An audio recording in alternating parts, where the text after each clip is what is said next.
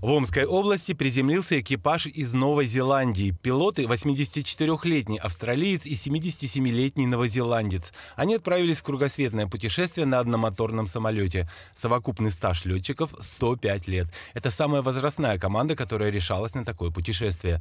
На борту всегда талисман «Две обезьянки». Экипаж вылетел 1 июня. Летчики уже посетили Америку и Японию, сейчас в России. На аэродроме под Омском приземлились 17 июня. Вернуться на родину планируют 28 сентября.